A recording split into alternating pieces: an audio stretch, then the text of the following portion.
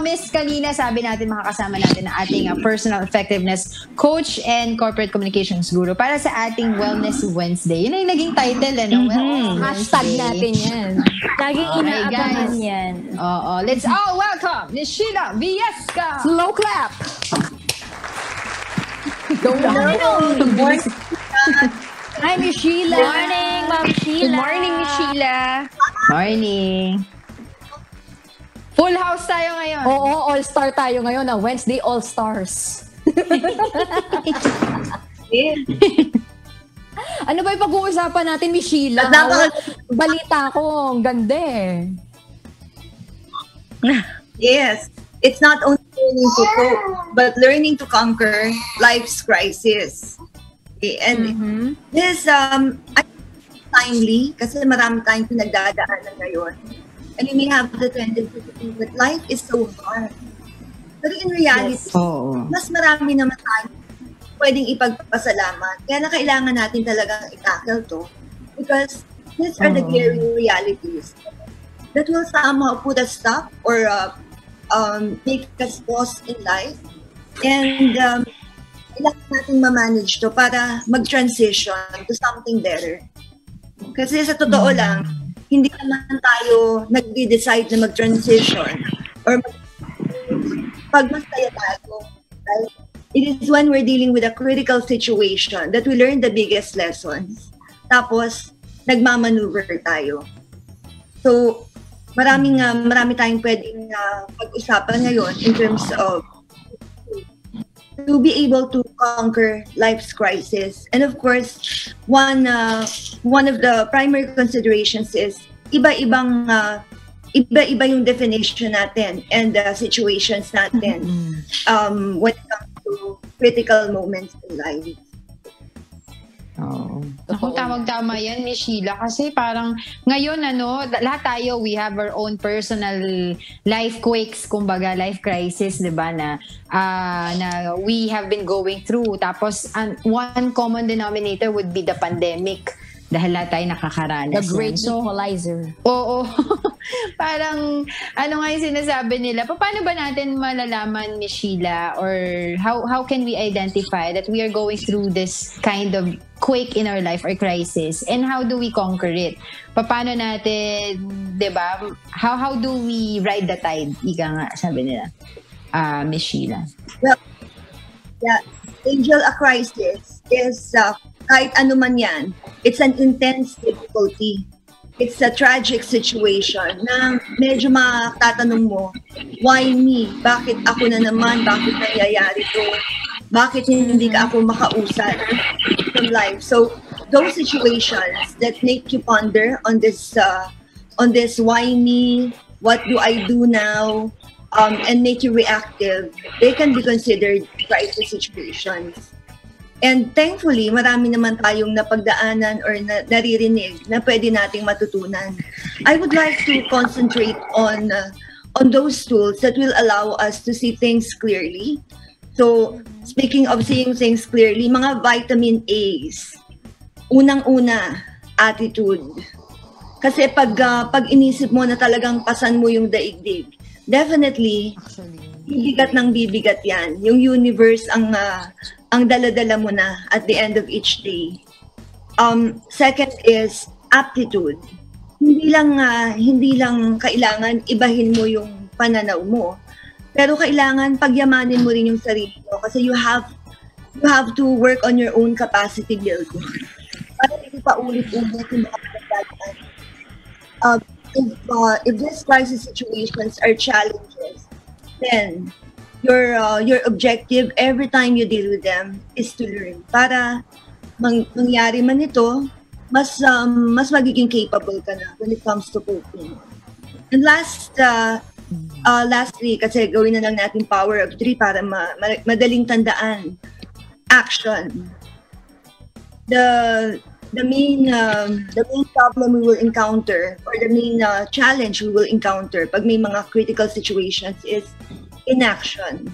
Thinking na pag hindi ka, wala kang ginawa, hindi ka nag-respond, things will get better. Things will not get better. Kasi you have to do something about them. So, dito sa tatlong to, um, iikot ng pwede mong gawin at pwede mong uh, pagyamanin so that every time there's a critical situation, you will not only be able to cope, but you will conquer it. Ayan. Good morning, Gab. Hi, Gab. Hi, Gab. Good morning. Good morning. Oh. Ayan. So, Yes. yung, um, yung sa attitude, I, uh, I would like to, uh, to give um, importance to the power of affirmation. Yung bang conditioning mo on a daily basis na itong nangyayaring to, of course, there's your reality, there's the fact, and there's your opinion about it. So, minsan kasi, mas mabigat yung opinion natin tungkol dun sa nangyayari kesa sa actual situation. So, be able to separate them. For instance, something as, you know, considering everything that's happening now, let's talk about relationships. Yung mga nagmahal, nasaktan at naiwan. Diba? Naiwan ka ng taong na mahal mo. That's the reality. Hindi mo na kayang mabuhay sa mundo. That's your opinion. And you have to be able to separate it. So, um, in uh, in having the right attitude, kailangan makita mo rin ng tama kung ano yung pinagdadaanan mo. And sometimes, Parang you simply separate Optimism. yourself from the issue. Oo. Yeah. You can call it optimism, you can, can Mhm. call it mindedness, or yeah, whatever, whatever will help. Pero talagang, um, talagang nasa pananaw mo yan. Um, our mind, in this case, is our most powerful tool. Ika nga. Oh. Pero that hindi sa lahat ng bagay, i-analyze mo yung mga situation.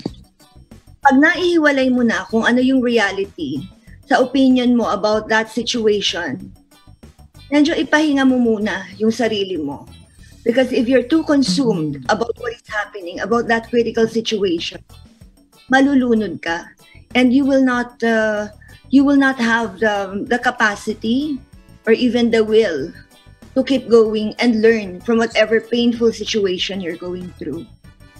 Oh. Miss Sheila, ay, yeah, while we understand po yung sinasabi niyo, yung having a positive outlook no or positive attitude dun sa mga personal crisis or whatever crisis that you're going through, um, they're also saying and I think it's also effective kasi I- I'm sure all of us have experienced it also that uh, somehow kahit one day or ilang ilang oras parang you let yourself You sulk let it out. into oo, you sulk into that moment or in that crisis. Or yung magbukmuk ka or iiyak mo daw or you just let your feelings toward that situation. And then um, the most powerful thing about it is to be able to snap out of it. Pagkatapos mo ma-let it out pa tayo Recover. diba? Tapos na. Move on. snap out of it. Get your ano together. And move ka na dun sa positive attitude mo na okay gagawin ito gagawin ko if it's not working etc That's that's a very good point, Angel. So when we talk about transitioning to the next level, talagang may ano ka, may may break ka, may sem break ka. And you have to do it your own way. No one can dictate you kung gaano kabilis or gaano katagal ka magmumok mo. You, you have to figure it out for yourself. Kasi mararamdaman mo sa sarili mo kung ano yung tamang moment and how long you will stay in that situation so you can learn from it. Um, yung, uh, yung bang yung kakayanan mo to evaluate uh, what's happening in your life, um, that is um, that is uh, in proportion to what you have gone through and what you understand. Um, So, hindi ka kailangan mag-apura, hindi mo kailangan i-base yung nangyayari sa'yo in terms of that uh, SEM break from, uh, from the crisis to the next level based on what worked for others. So, tama, tama talaga yun. Um, the next uh, the next A that we talked about is aptitude building your capacity, your capability to deal with that crisis situation.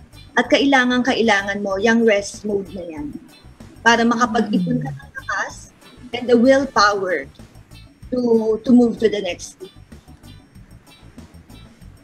Yeah, so I, I would agree tama yun, yung kailangan go ng go. Action is very important. Pero Yes. madadrain ka rin. And especially since madali namang gumalaw. But if you don't know where you're going, hindi mo na set yung end goal mo, kahit anong galaw mo pa, it's not going to be very meaningful in terms of dealing with a crisis situation. Minsan nga nakakapagpalala pa. Hmm. Mahirap yung Parang ganun, does this mean, Miss. Sheila, parang hanap ka muna ng, hanap ka ng ibang magagawa mo or yung ibang ho- hobby or para para malibang yung utak mo at hindi ka masyadong mag-isip tungkol doon sa ah, crisis na pinagdadaanan mo? Should I distract myself? Yeah. Thank you for asking that. ha. Yeah. Yeah.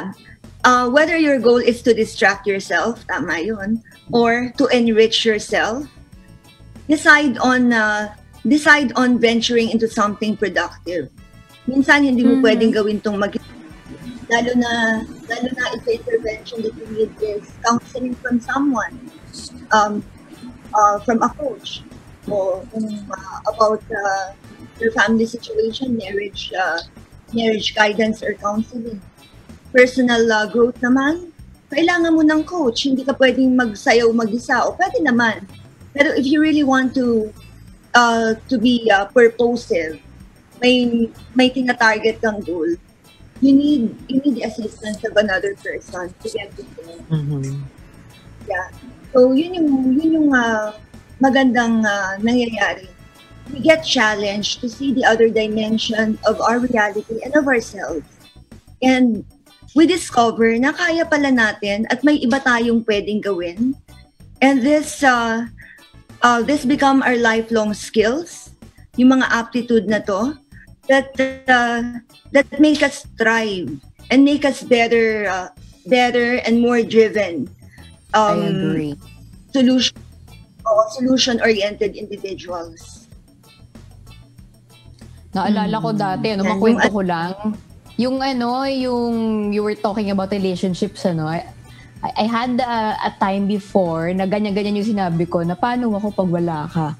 Tapos para alam mo walang-wala ka, 'di ba? Dahil buong buhay mo diyan mo inano, diyan umikot ba yung mundo mo and then nung nawala, ano, asang ka, talagang nandoon ka talagang lugmo ka talaga sa laylayan ha. Pero alam alam niyo yun yung yung mga sinabi ni Miss Sheila, yung you, tsaka ni Tita Angel, yung tanggapin mo yung nangyari sa tapos you ha, you really have to act on it ano? And na-realize ko talaga no mga kasama mga sa ating mga kasambahay na it, it's not really the end of the world ano? If something ends for you it doesn't mean na hanggang diyan ka na lang ano kung tutuusin nga malay mo 'di ba maging benefit mo pa yan in the future na for something greater no kaya ako hindi na ako natatakot sa mga ganyan ha pero syempre ayoko wag din naman wag din naman sobra-sobra no I can only take so much Actually, it's ano, 'di ba, Miss Sheila, ability daw to turn your crisis into Yes. a success story. Mhm. 'Di ba? Maraming mga ganyan tayong mga naririnig na mga storya ng buhay. Mind setting na, eh. Mm,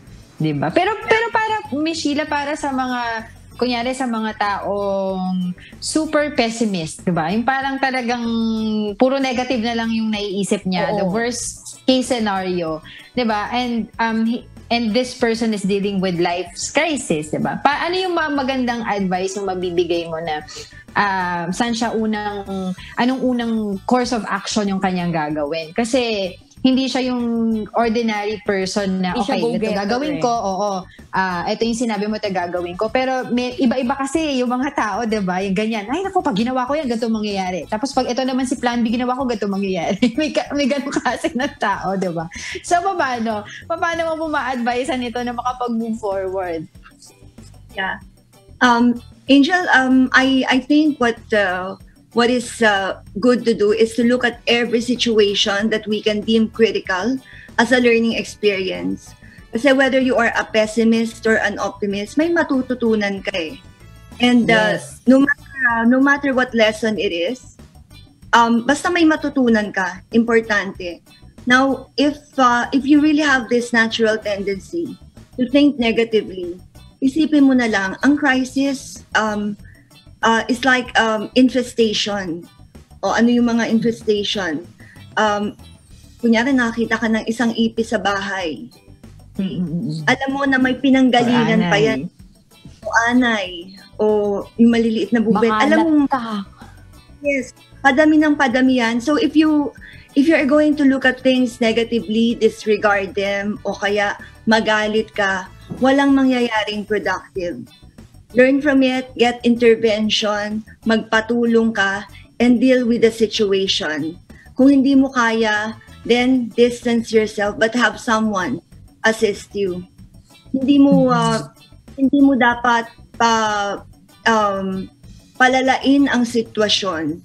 Um, you have to be realistic. So minsan pessimism can allow us to uh, to to deal with the problem uh, more pragmatically kasi we tend to be realistic eh. Pero Yes. titingnan ko, ano yung maganda dito, ano yung uh, ano yung pwede kong gawin. Um, and then uh, make sure that uh, something good will come out of whatever solution you're going to take on. Kasi kung ang magiging solution mo mas magpapalala sa sitwasyon, then you have not helped yourself at all. Sayang naman yun. Di ba? Oo. So, Yeah. important, oo. Parang importante talaga, ano ba end goal mo? 'Di ba? Yes. At the end of the day, end goal mo yung, oh, anuhin mo eh. Iisipin mo. Gusto mo Lahat ba ng cri- manatili sa ganitong sitwasyon? O do you wanna soar? On, Exactly, tama. That's the word. Soar high. What crisis situation actually is a challenge for us to look at life, uh, to look at life from another angle, and sometimes change our mind about the situation. Kasi yun ang ano eh, that that will equip you. Mas makikita mo kung ano yung dapat mong gawin. At kung pa solely ang kailangang uh, lumutas sa problema. Or do you have to bring in another person? And Maraming uh, marami tayong mga pinagdadaanan by the way because uh, also of our expectations. And when our expectations do not meet reality, yung mga physical situations tend to uh, tend to be aggravated, so overwhelming. Like, ang expectation natin, kailangan maging mabait sa atin yung tao. Kailangan ma-appreciate tayo. Kailangan uh, lahat ng bagay uh, will turn out okay. Or kailangan lahat ng taong makahalubilo mo, tapat sa'yo. Kailangan maalala ng uh, mga friends mo yung birthday mo. Okay? And when these things do not happen, then you feel miserable and you're not able to, to Frustrated. Oo. No matter how uh, how brave or how light our expectations or even how reasonable, sometimes sila yung nagiging uh, cause ng aggravation we become even more frustrated. Kaya, back to that uh, situation, tignan mo kung ano yung reality and tignan mo kung ano yung, yung opinion mo sa reality so that you can deal with that crisis situation more objectively. Dahil totoo naman, at the end of the day, buhay mo yan. No one else is responsible for it. But Except you. Oo. Kaya lahat ng pwede mong gawin para um, para makapunta ka dun sa goal mo and dapat talaga yung magsaset ng goal on a bigger scale, it's evaluating where you are in your life, where you want to be, and then more manageable or smaller scale as you wake up in the morning, how would you like your day to uh, to go, and what would you like to accomplish at the end of the day? Um, minsan nga hindi ka hindi uh, directly uh, uh, dealing with the crisis eh. Iikutan mo yung crisis situation na nangyayari sa buhay mo. But it's important na habang iikutan mo yan alam mo kung ano yung uh, pagtatapusan before you even start may goal ka na kung paano magko-close I like this. I needed this. I needed this. Oo, oo, oo. Saka challenges Pero, makes diba? you grow as a person. It makes you Oo. strong in life. doesn't You don't give up. you makes you Oo. stronger. Yes. Totoo. You face. Pero at what point, when do you seek help?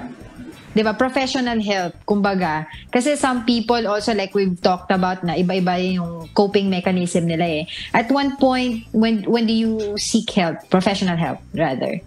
Miss Sheila, last question. good point yan, Angel. You don't seek help when things are at their worst. Just seek help. Pag, pag ready ka na, as soon as you're ready, Mm. you cannot say, ah, okay, pag, ah, pag medyo umokay na to, pag medyo umokay na ako, maybe I can have someone. Kasi hindi mo nga makikita from another angle. Usually, when you're, when you are dealing with that critical situation, lahat tayo, we're prone to having that tunnel vision. Isa lang yung solusyon na nasa isip natin as we react to certain uh, situations that can be, uh, that we feel are quite uh, painful or disastrous.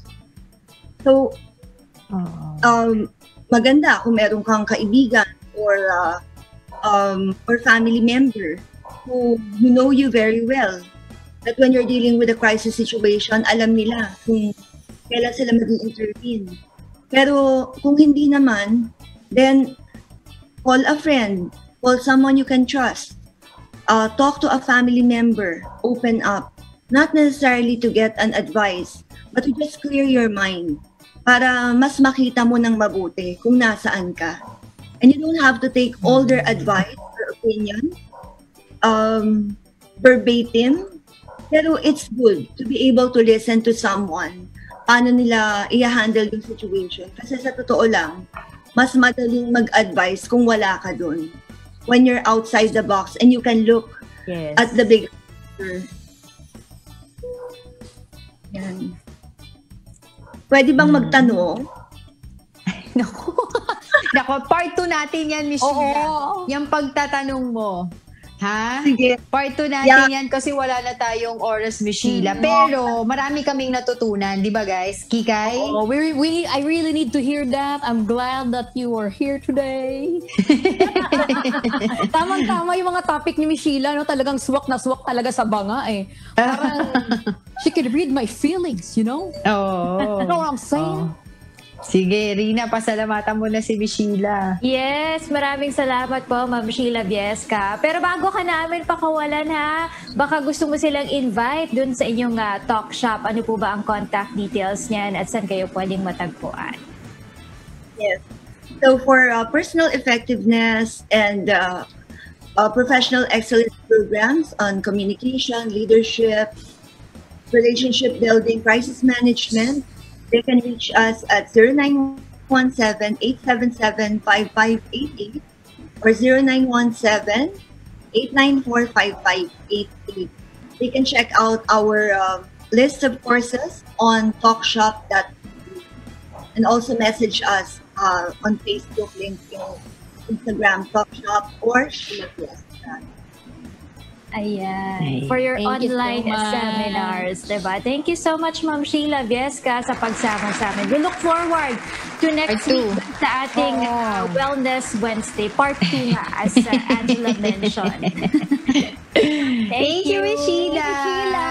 Thank you so much. See you again.